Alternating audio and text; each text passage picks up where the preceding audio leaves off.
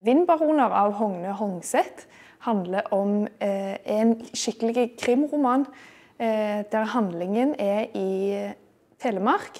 I denne bygda så skal det være eh, vindkraftutbygging. Og det er det selvsagt noen som er imot, og noen som er for. Eh, og det skaper en stor spenning i denne romanen. Eh, og i 'Vindbaroner' så blir man virkelig fanga inn i den debatten som finnes om vindkraft.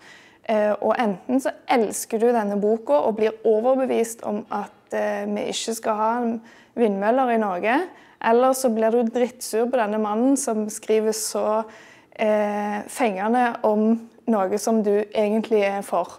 Dette var en av mine favorittbøker fra i fjor. Jeg syns eh, krim er kjekt å lese, men krim blir veldig ofte likt seg sjøl. Eh, eh, men denne boka hadde jo et samfunnsengasjement i seg som var fengende, veldig fengende for meg. Og, og, og, ga meg bare enda mer eh, motstand mot vindkraftutbygging. Boka har et skikkelig spennende etterord òg, der Hogne Hongseth tydeligvis har behov for å poengtere sine poeng i denne debatten ekstra mye.